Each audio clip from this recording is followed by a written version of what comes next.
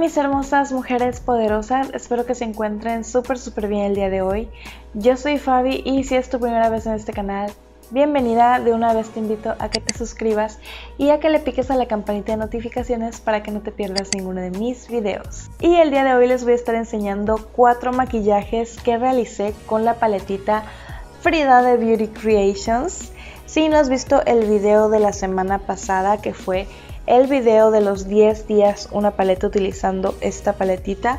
Te lo voy a estar dejando por acá para que lo cheques después de que cheques este videito. Acuérdate que te dejé un maquillaje en Instagram que pronto voy a estar subiendo a la IGTV y te dejé otro en Facebook. Así que si te gustaría verlos, sígueme en mis redes sociales para que no te los pierdas. Ahora sí, les dejo con el videito de hoy.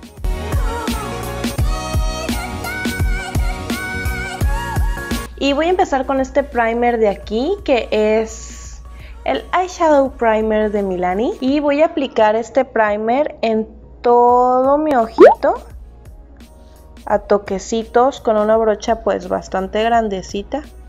Y como vamos a trabajar con colores oscuros y bastante intensitos, lo que voy a hacer es eh, aplicar polvo translúcido en la parte de abajo del ojo para que en caso de que si alguna de las sombras tiene mucha caída, pues lo único que haga es retirar el polvo y que no haya ningún problema, que no se me manche el maquillaje del rostro, porque ya saben que a mí siempre me gusta empezar con el maquillaje del rostro.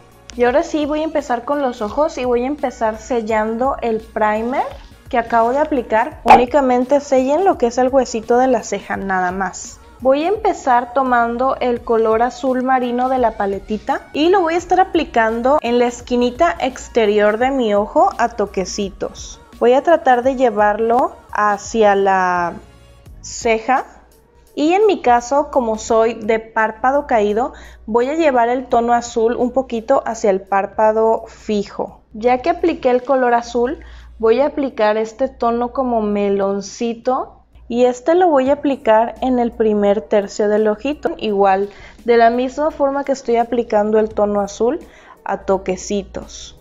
La cosa de estos tonos es que son complementarios.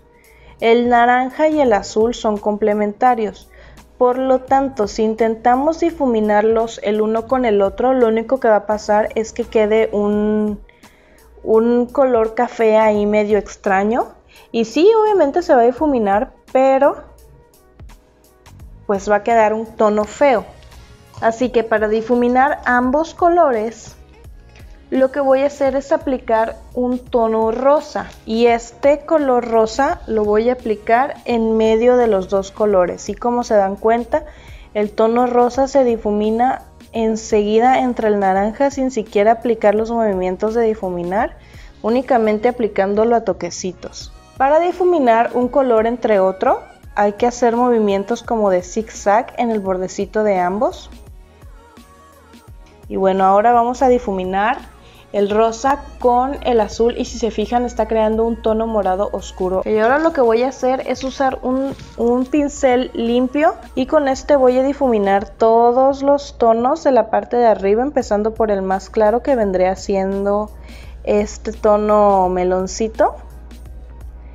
Y lo que estoy haciendo pues básicamente es ponerme en el borde de este color y dar pequeños circulitos.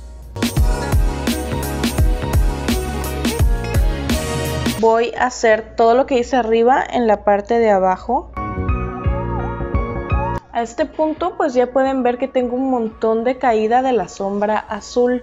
Y yo sé que esto se ve horroroso, pero no se preocupen, ahorita lo arreglamos. Espero. Ahora voy a tomar el tono doradito metálico y con este voy a iluminar el lagrimal. Y ahora sí voy a limpiar porque esto se ve súper desastroso.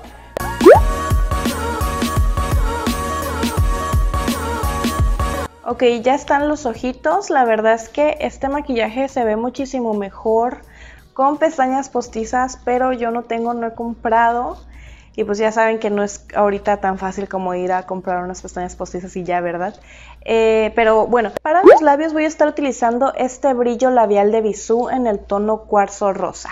Y listo, eso sería todo para el maquillaje número 1.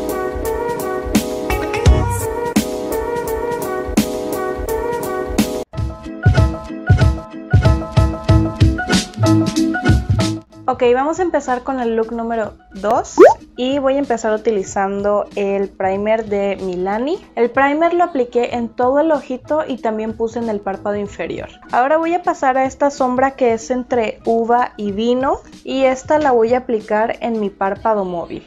What? Creí que era uva y está quedando naranja. Ok, como yo quería algo más vino, voy a intentar colocar este de aquí encima. Así que deseenme éxito. Y no. Nope. Tiene un chorro de caída esta sombra. Voy a tener que maquillarme otra vez. Porque parece que tengo roceola por aquí. No sé si se alcance a notar en la cámara, pero y no logré mi cometido. Realmente sí pude oscurecer más el maquillaje, pero no la gran cosa. Voy a tomar esta sombrita de la esquinita, ojalá que pinte como, como se ve en la paleta. Y con este voy a difuminar los bordes. Ahora el tono más oscuro que apliqué lo voy a poner en el párpado inferior con el primer tono, el que me engañó por completo, voy a difuminar un poquito los bordecitos usando una brochita de lápiz y con movimientos circulares pequeñitos. Y vamos con el último color, básicamente repliqué lo que hice arriba. Como que no está bien difuminado, lo que voy a hacer es tomar la sombrita más clarita mate con otra brochita para difuminar y con esto voy a terminar de difuminar los bordes de la parte de arribita los que están dando como que hacia el huesito de la ceja porque a mí no me gusta que se marque esa línea. Así que le voy a seguir dando hasta que ya no se marque tanto lo malo de usar este tipo de tonos es que empiezas a verte como muerta. Así que lo que voy a hacer es poner un poquito de negro en el contorno de los ojos. Voy a estar utilizando la sombra negra de la misma paletita y la voy a estar aplicando en la línea de pestañas de mi párpado superior. Como si fuera un delineado. Pero Ahorita lo vamos a difuminar, lo estoy aplicando primero toquecitos y ya luego difumino con movimientos de limpia parabrisas. Y voy a hacer lo mismo en el párpado inferior, en la esquinita. Lo voy a depositar en la esquinita y lo voy a difuminar pues hacia el lagrimal, pero tratando de no llevarlo hasta allá. Lo que podemos hacer también es regresar a las brochas con las que difuminamos la parte de abajo por lo menos que es la que a mí no me quedó tan suave y con estas terminamos de difuminar ese tono negro así voy hasta ahorita y para serles sincera jamás me esperé que un maquillaje así fuera a quedar hoy o sea yo estaba pensando en todo lo contrario miren qué desastre hice acá pero Ahorita lo que voy a hacer es maquillarme otra vez porque ya tenía un poquito de maquillaje, no me quería maquillar tanto hoy. Eh, entonces me voy a volver a poner mi base porque quedé toda manchada. Estas sombras de verdad que tuvieron mucha, mucha, mucha caída. Y me voy a poner rímel y regreso con ustedes para ver qué labial me pongo. Y me voy a estar poniendo esta máscara de pestañas de prosa que dice fórmula resistente al agua con efecto alargador de pestañas. Y pues sí, ahorita regreso. Ok, por fin, ya regresé. Y por cierto, les dije que iba a regresar nada más para ponerme el labial, pero no. Me olvidé de mi paso favorito. ¿Cómo puede ser posible? No me puse iluminación en el lagrimal, que es de mis pasos favoritos. Así que vamos a hacer ese paso ahorita. Y pues yo ya agarré un poquito con mi brochita y le voy a poner fijador de maquillaje, el de Beauty Creations. Y lo voy a aplicar en mi lagrimal. Qué bonito color. Acuérdense que a mí siempre me gusta abrirlo y llevarlo hacia el párpado inferior. Ahora sí, para los labios voy a estar aplicando este de aquí que es de los Maybelline Color Sensational, me parece que se llaman, y es el 657 Nude Nuance. Y listo, terminamos con el maquillaje número 2, ahora nos vamos con el maquillaje número 3.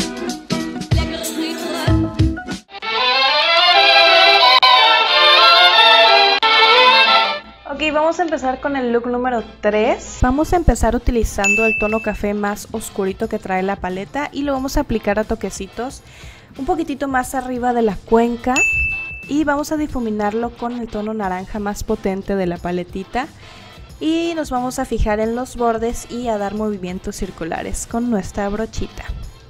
Ahora nos vamos a pasar al tono amarillito y con este vamos a difuminar los bordes del naranjita que acabamos de aplicar con el mismo movimiento, movimientos circulares pequeñitos en el borde del tono naranja.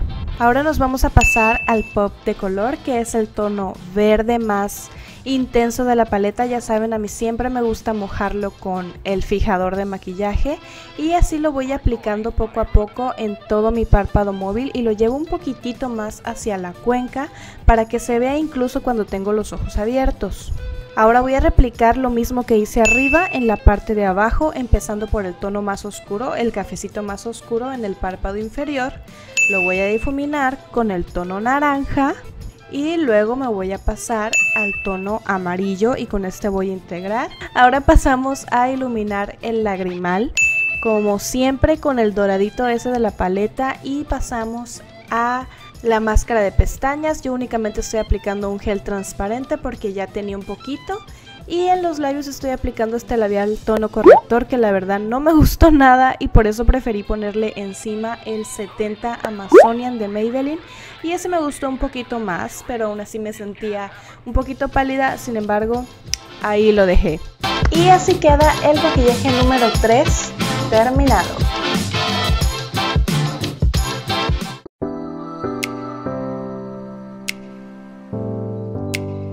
Voy a aplicar primer ni nada en mi ojito, así tal cual voy a aplicar las sombras. Lo que sí es que me puse un poquito de base y me puse polvo translúcido encima. Y ahora voy a tomar este color naranjita potente y lo voy a estar aplicando en la esquinita de mi ojo y lo voy a estar llevando un poquito hacia la cuenca. Ahí mismo intento difuminarla con la misma brochita con la que la estoy poniendo.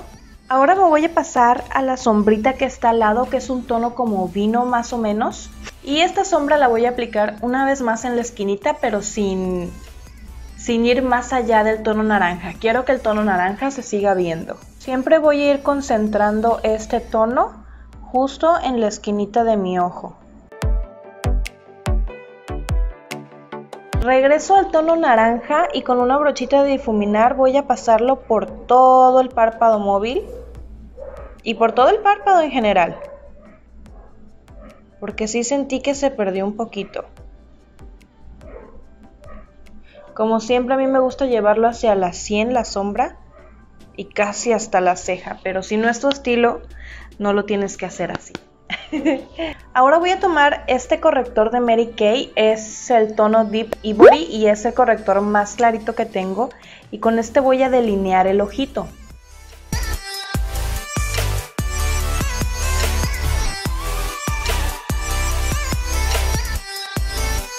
Ok, cuando hagas este paso de delinear con corrector, haz un ojo y un ojo después.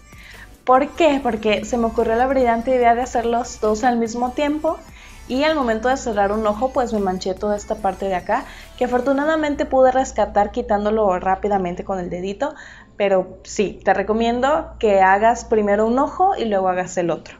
Ok, el siguiente paso después del delineado con corrector es sellar este delineado con el tono amarillo que tenemos aquí y voy a aplicar esta sombra a toquecitos justo donde apliqué el corrector. Voy a pasar a la parte del párpado inferior y voy a hacer exactamente lo mismo. Voy a poner el tono más oscuro y luego lo voy a difuminar con el naranjita. Empiezo con el tono vino y ahora voy a seguir con el naranjita con una brocha de lápiz y voy a difuminar con movimientos circulares. Voy a regresar con la brocha grande con la que difuminé sin aplicar nada y con esta voy a terminar de difuminar un poquito los bordes del naranjita.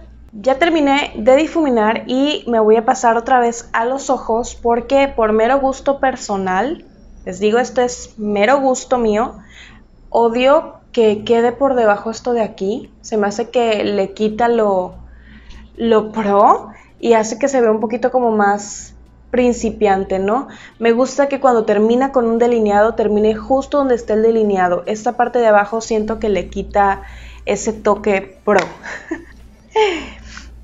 Lo que voy a hacer para intentar remediarlo es tomar mi polvito de bisú y la esponjita que trae y así dobladita voy a tomar un poquito. Si ustedes tienen de hecho de esas esponjitas triangulares va a funcionar mucho mejor que esto, pero las mías se me acabaron. Y con esta voy a retirar esa parte de abajo. Ahí está. Puse demasiado polvo, no se tiene que poner tanto.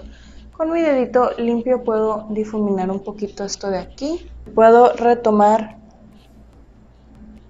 la brochita esta. Se me hace que se ve mil por ciento mejor. Se me hace que se ve como más pro el ver que termina justo donde está el delineado. Si crees que más o menos el delineado se pierde con tu piel, tal vez le puedas poner un poquitito más de sombra, ya tú vas viendo. Pero sí me gusta muchísimo más este acabado que este. Ahora voy a pasar a mi parte favoritísima de siempre y es iluminar el lagrimal. Y en esta ocasión voy a estar utilizando este tono de acá, el beigecito. Normalmente utilizo el de al lado y voy a iluminar el lagrimal con esta sombrita. Y no, definitivamente no tiene la misma, o sea, no, no, no tiene, sí, no tiene la misma reflectancia que la otra que les digo que siempre uso. Pero bueno, para cambiarle un poquito. Y ahora me voy a aplicar mi máscara de pestañas y voy a estar utilizando una vez más esta de prosa, de tapita rosa, resistente al agua, ya saben. Y ya para terminar voy a estar utilizando el labial 1 Milán de Bisú. Es un color precioso, me encanta. Este no apareció en mi top 5 porque no me encanta más que el Bogotá, pero me encanta aún así. y con eso terminaríamos con el maquillaje de hoy.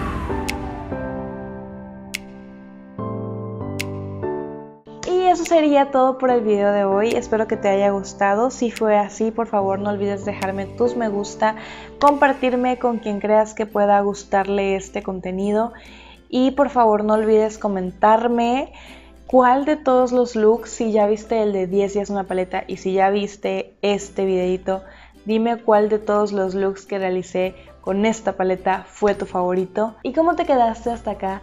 Creo que te mereces un adelanto del video que se viene la próxima semana. Y es que la próxima semana vamos a estar iniciando 10 días una paleta con mi más reciente adquisición, ahora sí la más nuevecísima salidita del horno y es... no puedo creer que por fin la tengo conmigo, no saben cuánto me costó. Yo la compré desde la primera vez que la sacaron y apenas la pude tener en mis manos. Así que ya sabes, la próxima semana vamos a estar empezando con los 10 días una paleta de la Pretty Guardian Palette de Colourpop. Así que si no te has suscrito de una vez te invito a que te suscribas para que no te pierdas estos videitos. Y ya sin nada más por el momento, me despido, te deseo que tengas un excelente día, una excelente semana. Nos vemos. Bye.